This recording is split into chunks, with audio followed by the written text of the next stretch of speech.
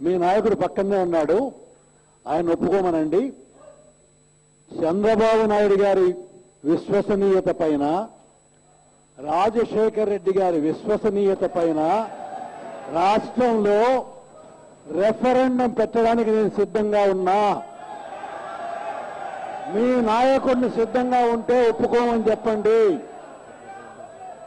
సరే ఎవరైతే ఇందులో ఓడిపోతారో వాళ్ళు రాజకీయాలకు శాశ్వతంగా దూరం కావాలి అని సిద్ధమైతే రమ్మనండి ఇప్పుడే.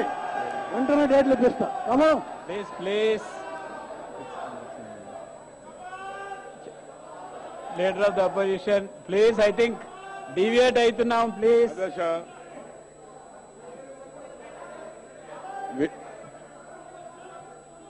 విశ్వసనీయత అన్నప్పుడు అధ్యక్ష ఈ రాష్ట్రంలో అవినీతి మీద ముఖ్యమంత్రి రాజశేఖర్ రెడ్డి అవినీతి ఎంత చేశాడో సార్ వినండి మీరు వినాలి.